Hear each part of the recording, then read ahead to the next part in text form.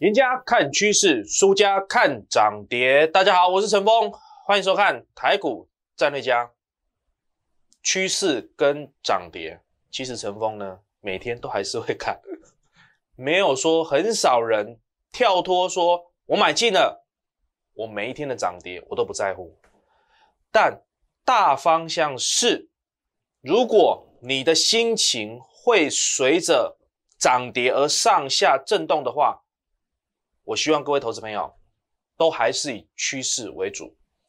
那我想请问大家，今天的台股创下有台北股市以来的一个高点，请问要崩盘了吗？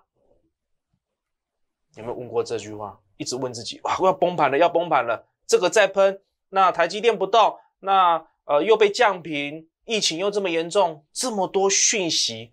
在攻击你的想法的时候，请问一下，你怎么理出一个头绪？回归到陈峰一直告诉大家的，大环境有没有改变？如果你看 K 线图，你看不出什么样的一个大趋势，没有办法，这是没有办法的。所以你看，过去三月十八号我在 TG 上的一个贴文，白色的框框，错失了。涨破万八的疯狂行情，万八到了吗？剩两百多点，万八就到了。这第一点。第二点，三月十八号，我告诉大家，联发科呢，它即将涨破一千元。请问一下，一千元涨破了吗？也涨破了，最高来到一千一百八十五的大关，这个也达成了，甚至。当时布局的威震天下钢铁股有没有大涨？整个喷出，当时还在二十几块，三十元不到，现在已经来到六七十块了。这就是预言，这就是大环境。可是这一篇文章是站在三月十八号告诉各位投资朋友的，今天我站在六月二十九号。我来告诉大家，接下来的台北股市到底涨些什么东西？大环境变了吗？最敏感的高收益债的一个利率，这么乐色的东西，投资人愿意担这个风险去买进它，代表这些投资人对于利率的一个敏感程度很高啊，屡屡都要测试市场上的一个底线。那现在这个市场对于利率有没有弹升？跟各位说没有。这个是六月十五号的一个利率水准五点三一，昨天为止五点一八，进一步的往下探。利率有利率这么重要的东西，请问下有弹升起来吗？完全都没有。现在正在处于一个。非常强烈的多头，这个多头凭什么？凭什么讲加降息？这个台湾的高企阿北收刷，阿北停。看美国，各位，他就是龙头。你再怎么样不喜欢美国人，他就是经济的龙头。他扮演着火车头，带领这一关嘎拉巴掌，哎，再往前进。请问一下，他的耐久才？的一个年增率有突然大幅度的衰退吗？没有，还创下新高六六点二的年增率，多么吓人！去年五月份那些都没有消月消费的，全部都出来了，全部都来买了，这就是终端的需求状况是非常好的，所以是有涨价空间的。所以当大家把这些大环境都了解了，利率也低，需求也旺盛。台股甚至创下挂牌以来新高，请问一下，崩盘了吗？所以昨天告诉大家，指数怎么维持，指数怎么稳定，一一的告诉大家。今天呢，当然最后是来谁来做一个弹升，来做一个稳盘，台积电，台积电还有一三零一的台硕都一并来了，我们来看一下。一三零一的台硕，最后呢拉一个尾盘，拉上来，所以它目前呢，股价呢在这个位置之上呢，我个人认为前坡的这样的一个高点一百零四元，很容易就过去了，很容易就过去了。油价呢做一个适度的一个回撤，慢慢慢慢再继续往上推。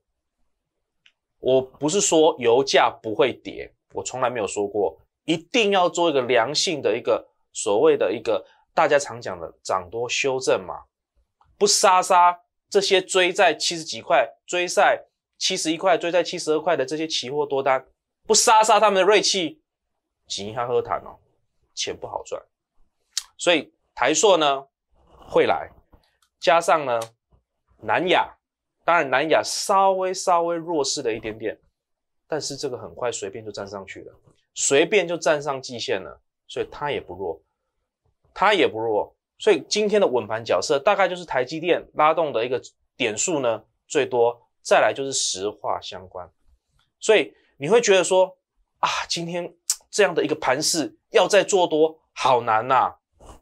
不会，不会难，但这个不会难的大前提是什么？绝对是要提早布局，你要看到这些数据要很有感觉，消费这么猛，大家拢在买，拢在买，大家拢喝亚郎，拢在买物件，代表厂商有没有利润？有，所以一定要看在前面嘛，一定要告诉投资朋友，接下来到底要涨什么？你看今天的，我今天帮大家整理出来，直接拍起来，《经济日报》头条。裸金元涨不停，大摩上修环球金跟合球跟合金的目标价，这讲了就简单呢。我看到你 key 啊，我看到你过前高啊，我上调你的目标价合情合理，所以永远都是行情在制造新闻。安尼我买做简单，我买当下 bug 啊。我看到对几基突破前高，我也告诉你我调高它的目标价啊，嗯，很合理。但有谁告诉你？六百多块的一个环球金是可以买，是可以报的。我想只有陈峰。是谁告诉你环球金呢？长线的外资早就在那边等了。当时为什么不上调环球金的目标价？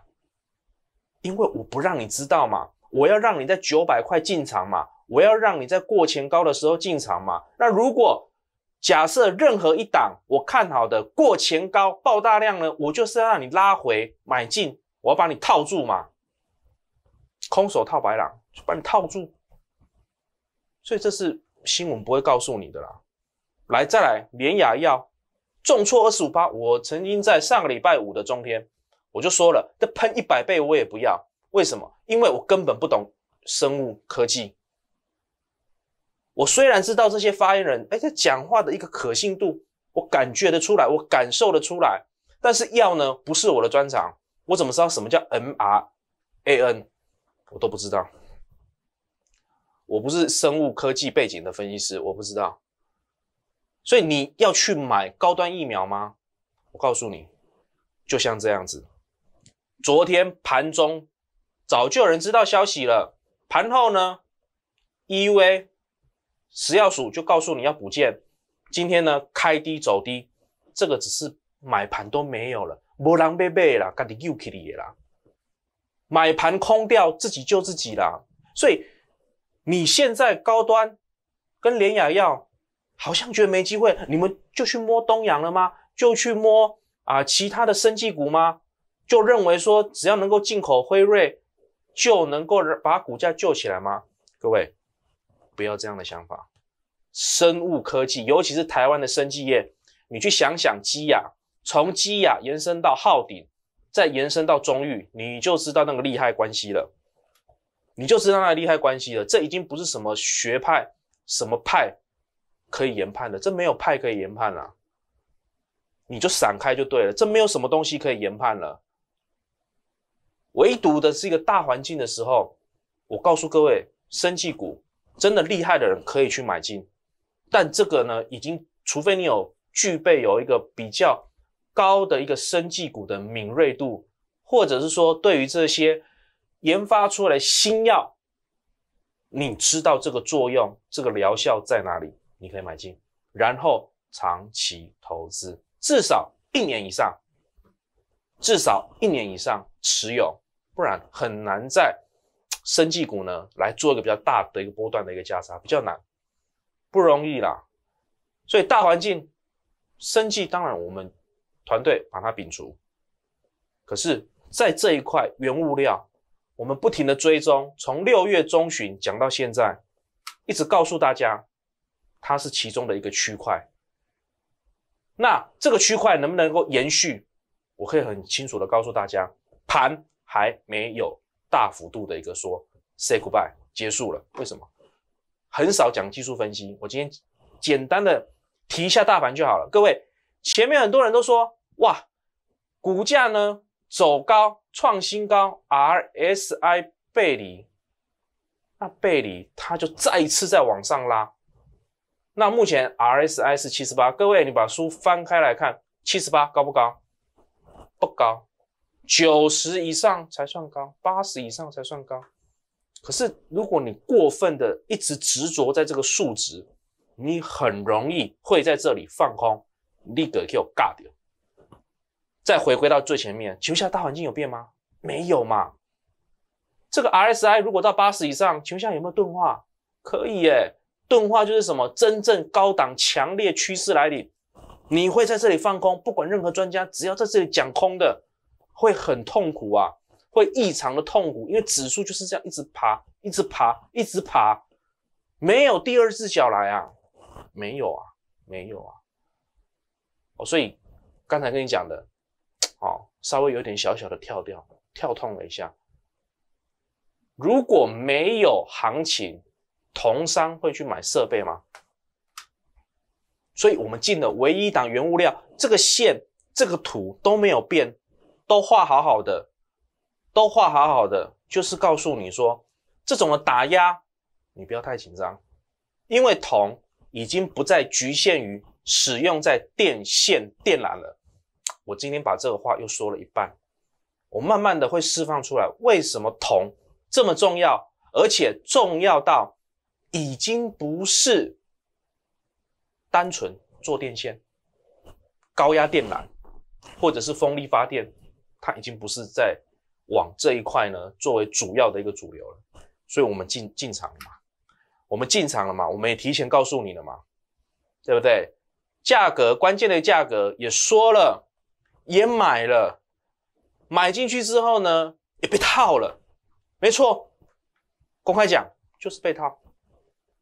谁这么厉害？我没有这么厉害。每次屡屡买在相对的一个绝对低点，没有，我办不到，我办不到买在绝对低点，我肯定是办不到的，我肯定是办不到的。但是买在相对即将要发动的一个区域，一个安全的一个区域，可不可以？可以。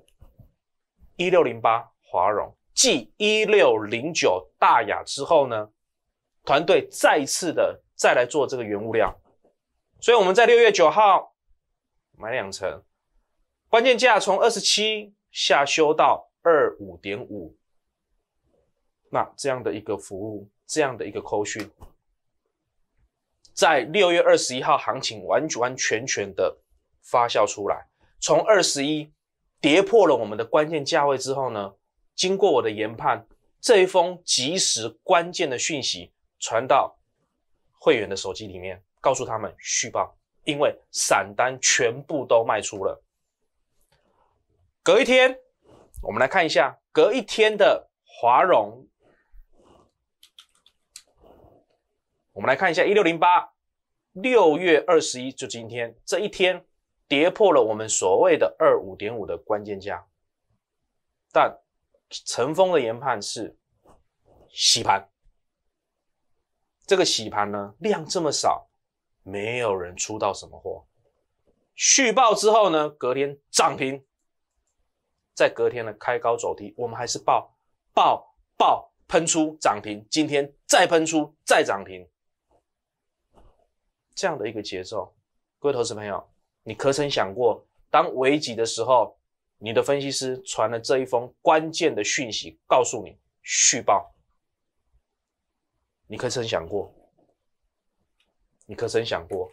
所以你看，这讯息排好好的，就这样告诉你，昨天开盘的两分钟就告诉大家了，隔日冲不碍事，来就补没问题的，忍耐一下，十八分锁涨停，就这样，开盘两分钟就告诉你隔日冲要来了，搞一搞搞一搞，悄悄哎，再来呢，很轻拉，再拉，锁住，十趴送给我们的会员朋友，一直到尾盘。再也没有打开过了。请问下这怎么追？你怎么买？你怎么敢买？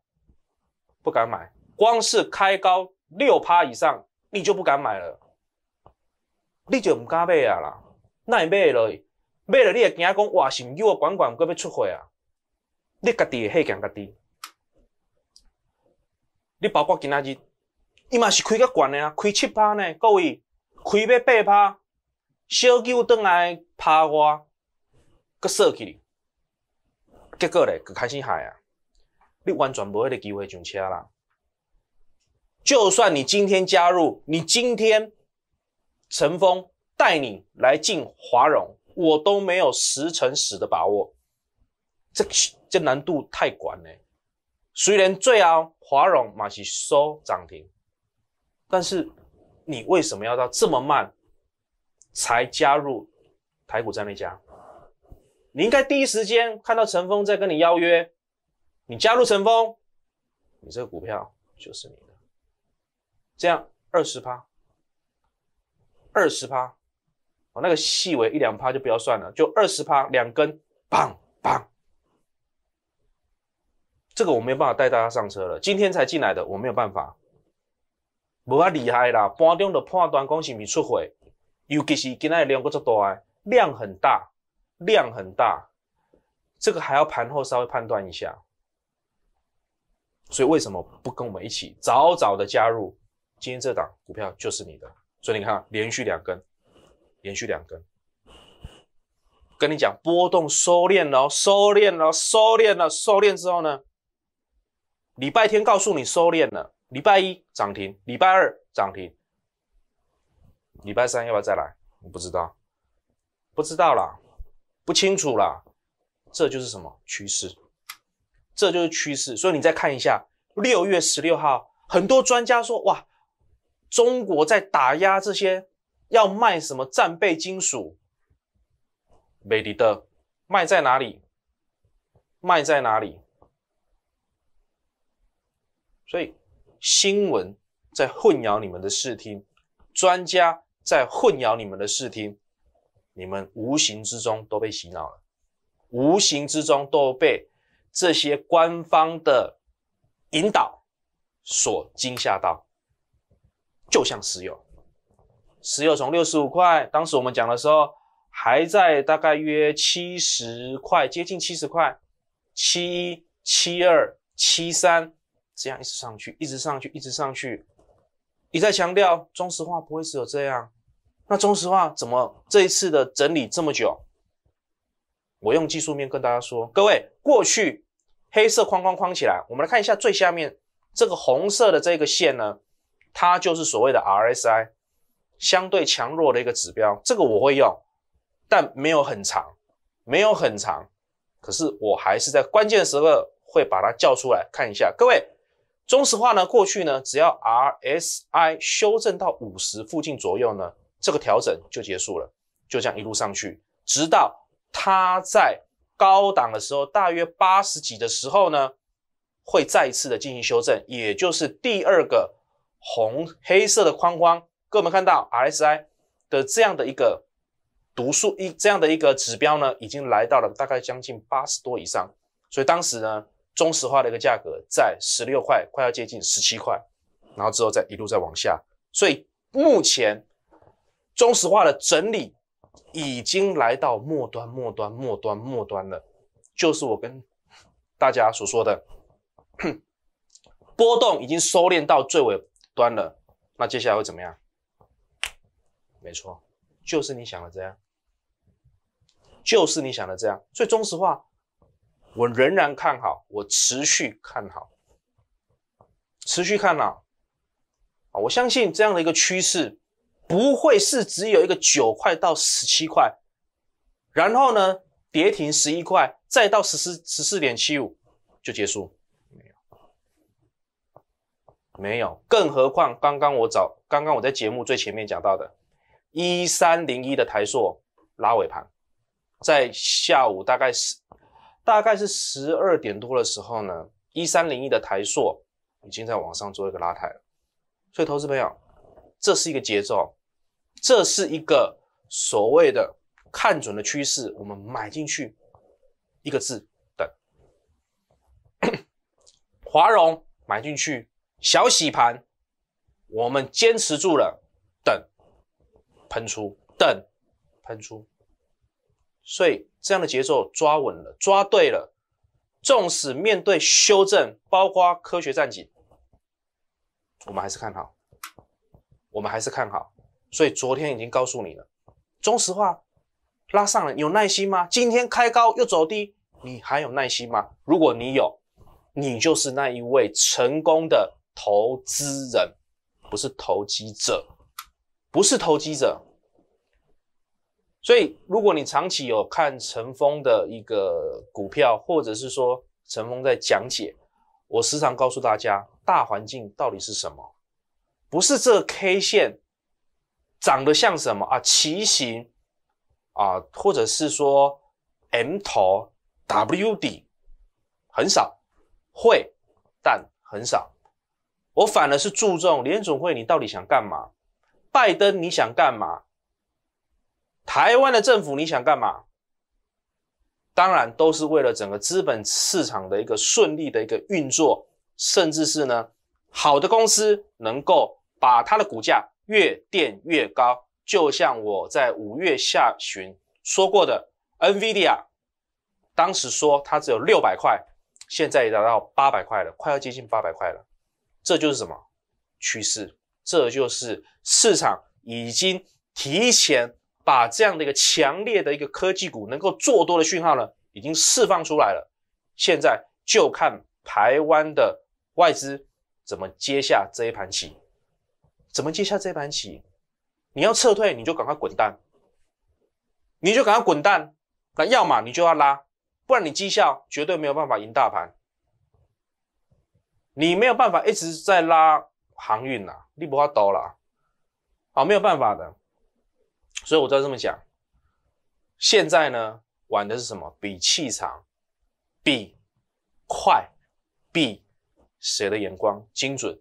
希望投资朋友。你都能够跟着陈峰一起来参与台股战略家的一个股票操作。今天节目就到这里，还没有加入我 Line 跟 Telegram 的，马上做一个加入。明天下午我们同一时间再会，拜拜。